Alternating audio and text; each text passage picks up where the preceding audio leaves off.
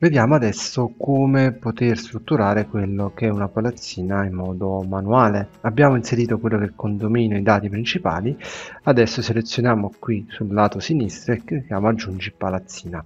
All'interno della palazzina io devo andare a inserire quello che è il piano. Allora, eh, potrei sfruttare come già abbiamo visto in un video tutorial precedente come poter creare una palazzina in modo automatico. In questo caso però faremo vedere un attimo velocemente come creare i vari elementi. Quindi aggiungi prima di tutto il piano. Una volta che ho aggiunto il piano altezza dal suolo quindi questo qua è il piano eh, diciamo terra che è leggermente rialzato dal piano stradale che è il piano 0 di riferimento mettiamo quindi un metro e 25 quindi vado 1 di 25 uh, l'altezza del piano eh, mediamente siamo sui eh, 3 metri da terra. Una volta inserito io posso aggiungere le unità immobiliari. Quindi abbiamo due unità appartamenti immobiliari. Quindi unità immobiliare mettiamo unità 1 proprietario Rossi ok uh, il coefficiente di piano è rialzato ok e all'interno possiamo inserire quelli che sono i vani. Io adesso vado a inserire giusto dei vani di rappresentazione perché vi voglio far vedere una cosa molto importante perché uh, come funzionalità io posso inserire uh, una, una planimetria di, di VG per poter poi andare a uh, generare e calcolare in automatico quelli che sono i metri quadri io adesso ho preso degli esempi elimina eventualmente un'unità elimina il vano ok perfetto. Diciamo che va bene queste tre rappresentazioni.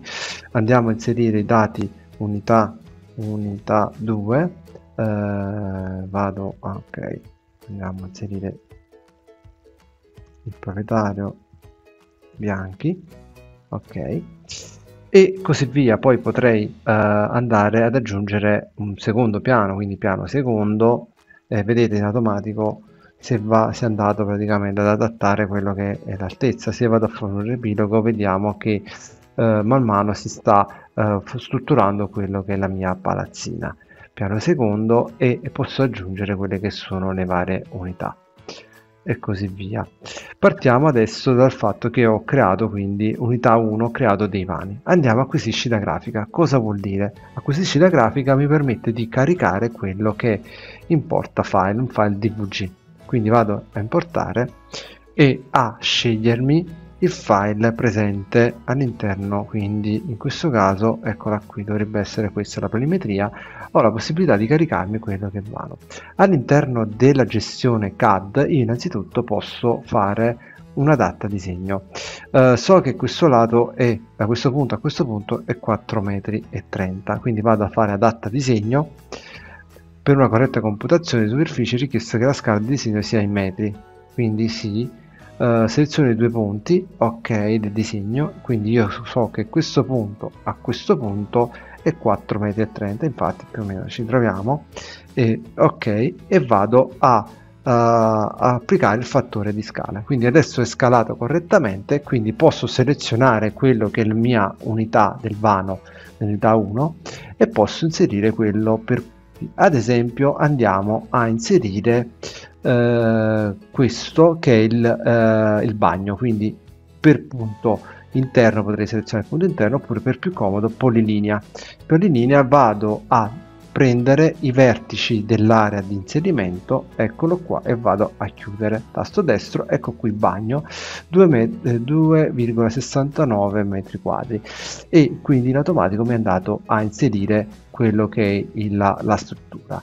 Lo stesso discorso posso quindi andare a inserire per esempio la camera. Polilinea ad esempio io vado qui vado a delimitare quello che è la mia metri quadri di interesse camera. Uh, ridimensionamento testo uh, mi chiede conferma selezione del tasto destro ok e poi vado a indicare quella che è la dimensione appunto del, del, del testo. Poi ovviamente col grip lo posso spostare. Quindi ridimensiona testo seleziona. Vado a, a, a ridurre. Ok questo l'avevo già selezionato due volte.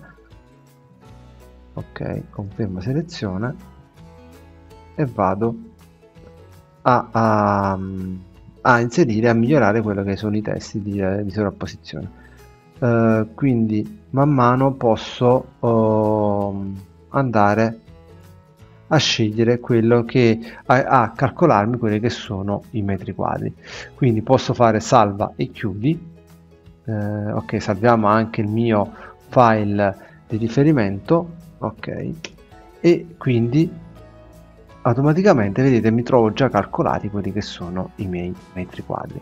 E così via mi posso già eh, calcolare quindi tutto quello che è il volume virtuale poi a seconda del piano inserito. E così via lo posso fare per tutte le unità immobiliari quindi caricarmi e acquisire da grafica quello che è l'informazione dei metri quadri